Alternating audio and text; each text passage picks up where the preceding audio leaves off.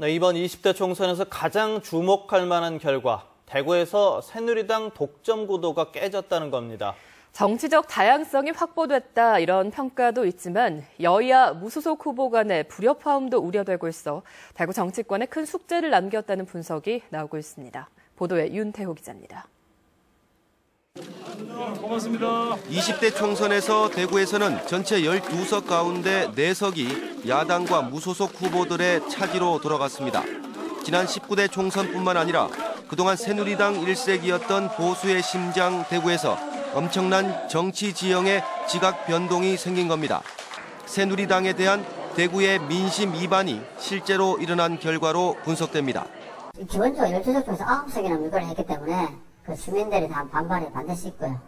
그 새누리 당이 보냈던 애정만큼 대구 경북에 그만큼 발전하지 않았기 때문에 그게 다 실망.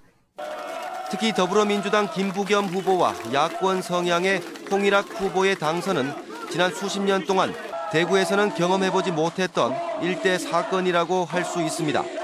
새누리당 독점 구조에서 무소속과 야당 의원까지 가세하면서 대구에도 정치적 다양성이 확보되는 계기가 됐습니다. 이에 따라 각 정치적 세력 간의 경쟁 구도가 본격화되면서 대구를 바라보는 정치권의 시각도 달라질 것으로 보입니다. 새누리당은 이제 지역 여론에 민감해질 수밖에 없게 됐고 야당도 불모지 대구에 교두보를 마련한 만큼 더 관심을 갖게 되는 계기가 됐습니다. 한 당이 모든 것을 대표하던 시기보다는 훨씬 더 대구 정치가 역동적이고 활력이 있을 것이다. 저는 그렇게 전망을 합니다. 하지만 여당과 야당, 무소속 후보가 뒤섞이면서 알력 다툼에 따른 불협화음 등 여러 부작용도 우려되고 있습니다. 31년 만에 정통 야당 의원 탄생을 필두로 견고했던 새누리당 독점 구도가 깨지면서 기대와 우려가 교차하는 가운데 대구 정치권에 남겨진 숙제도 그만큼 더 많아졌습니다. MBC 뉴스 윤태호입니다.